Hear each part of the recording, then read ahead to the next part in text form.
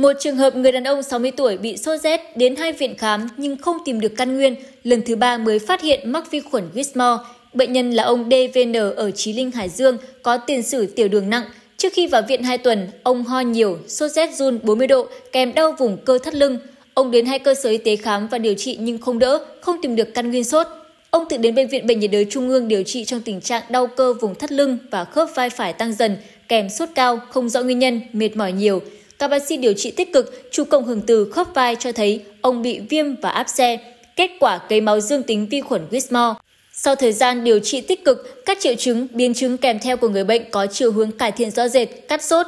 Bác sĩ Nguyễn Hồng Long, Phó trưởng khoa nhiễm khuẩn tổng hợp Bệnh viện Bệnh nhiệt đới Trung ương cho biết, bệnh Whitmore có biểu hiện lâm sàng đa dạng, không điển hình, dễ bị chẩn đoán nhầm với các bệnh khác. Các thể lâm sàng này có thể xuất hiện riêng rẽ hay phối hợp như viêm phổi, nhiễm khuẩn huyết, sốc nhiễm khuẩn, nhiễm khuẩn da mô mềm, áp xe dưới da, mụn mủ, viêm mô tế bào, áp xe đa cơ quan, áp xe gan, lách, thận, tiền liệt tuyến, tuyến mang tai, áp xe đa ổ ở mô dưới da.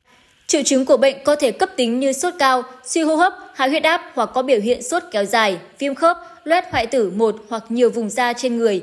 Đôi khi có biểu hiện lâm sàng giống bệnh cảnh lao, Nói chung đây là bệnh nhiễm trùng nặng, có tỷ lệ tử vong cao và một số trường hợp diễn tiến tối cấp, tử vong nhanh nếu bệnh nhân không được chẩn đoán sớm, chẩn đoán đúng và điều trị kịp thời. Bệnh có thể diễn biến cấp tính, nhiễm trùng máu nặng, nguy kịch, tử vong hoặc có thể gặp nhiễm trùng mãn tính, nhiễm trùng ẩn, kéo dài nhiều tháng, thậm chí là nhiều năm. Khi nuôi cấy bệnh phẩm để chẩn đoán, vi khuẩn thường mọc chậm và có tỷ lệ mọc cũng không cao, làm cho việc chẩn đoán căn nguyên càng thêm khó. Bệnh Quistmore sẽ thường xuyên gặp trên những người có bệnh nền như tiểu đường, bệnh gan, thận, phổi mãn tính, suy giảm miễn dịch.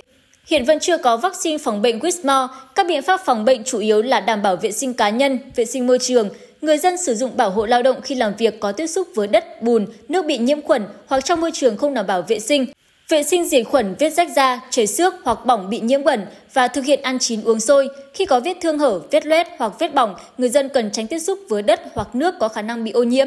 Nếu bắt buộc phải tiếp xúc, chúng ta cần có băng chống thấm và cần được rửa sạch đảm bảo vệ sinh.